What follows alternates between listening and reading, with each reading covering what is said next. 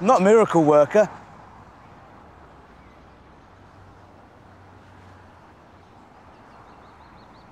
People think that stuff happens by itself, but it doesn't.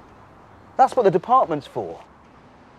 But with these cutbacks, I'm having to work outside of my area of expertise. Single glove on a railing, for example. That's a job for a specialist. Terry, what, what are we doing here then? Well, what I'm about to attempt is called book on bus shelter roof. To the layman, it looks simple, but in fact, there's a whole besmirching and wearing out process.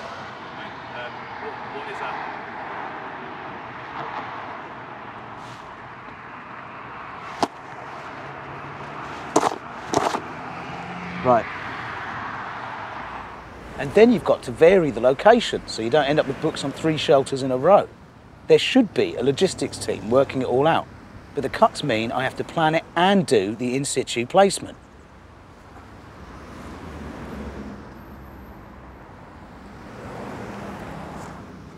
I don't know who's behind these cutbacks, but I know I didn't vote for them.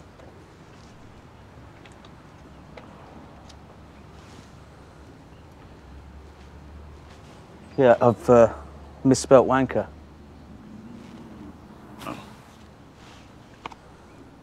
The general background ambience of a town or city uh, metallic bangs, incoherent shouting, Oi! disembodied mechanical groans that's called clanking. Making those noises is what I was trained to do. I am a clanker man.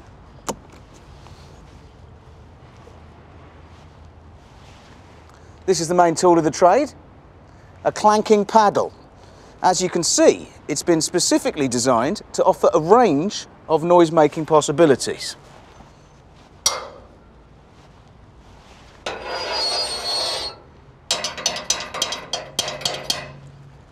And see, you've got to get the timing. You don't want it to be too regular. If it's regular, people can ignore it. It's not annoying enough. So you've got to get it really on the off. On the off. Like that.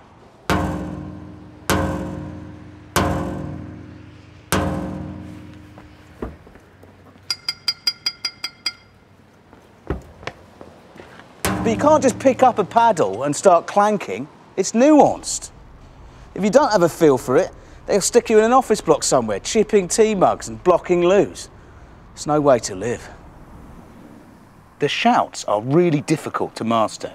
You start off with basic sounds. Oi!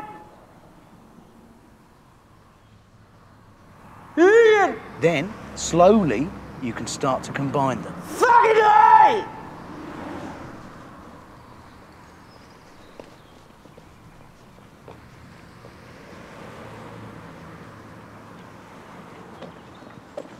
Nailed it.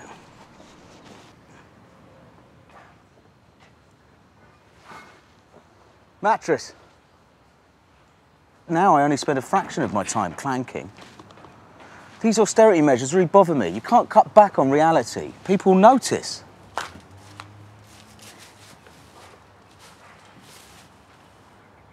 This is called suspect stain application. This is real urine. It's not mine, though. What I really object to doing is what's known as creepy detritus, or it's also called uh, poetic abandonment. It's also called bollocks.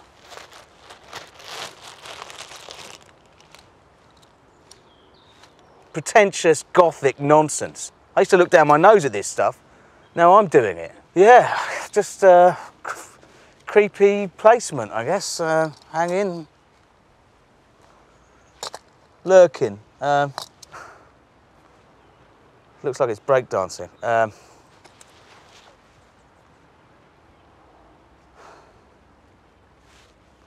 you know what?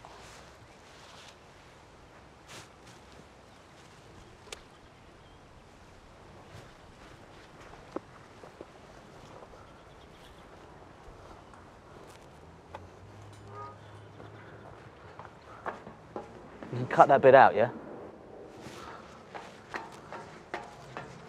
Obviously, we have to be extremely secretive about our work. Even other departments don't know that we exist. I get my instructions on a weekly basis. So when's next? Soon. We come with you? No. No, absolutely not.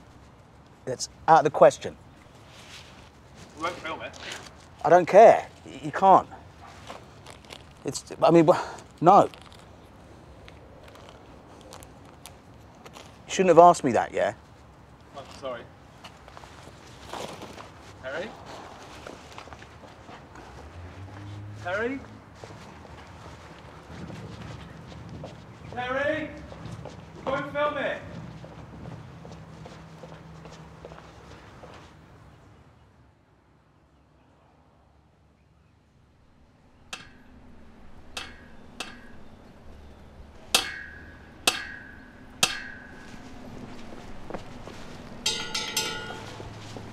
Excuse me, mate.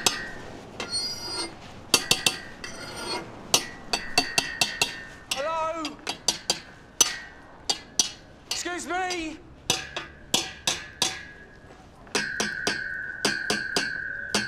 Oi! What are you doing? Nothing. Just, uh, uh, nothing, nothing at all. Doesn't sound like nothing, sounds like a racket. Yeah, that's right. A racket.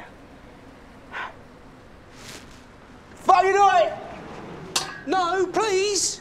Can you stop doing that, mate? We've got another two hours. Well, then what happens? Then I'm doing the mattresses. Oh, well, busy night then. Flat out. No, please, mate. What are you doing? Just, I can't talk about it. Try. I'm doing it for your benefit. I'm not feeling much benefit now, mate. Trust me. Just another- No one wants to hear that. It's not needed. Just another 20 minutes. Seriously, mate. You start up again, I'm gonna wrap that rope around your fucking head. Sorry. I'm tired.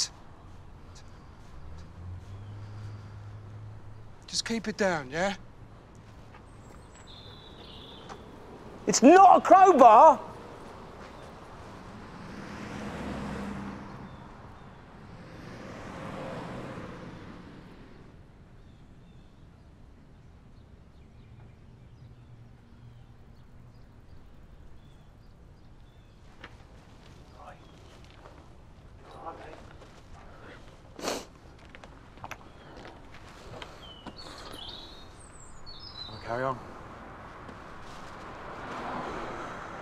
We go.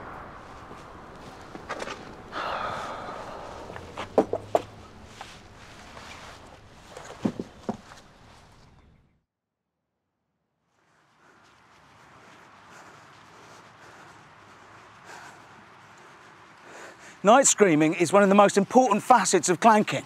It gives the darkness its air of mystery and it scares the shit out of children. I mean, people think that every little piece of rubbish or noise has a story behind it, a meaning, a reason. People don't understand how empty the world really is. Well, perhaps after this, they'll realise. Maybe then they'll appreciate everything I've done. Ah! Ah! Ah!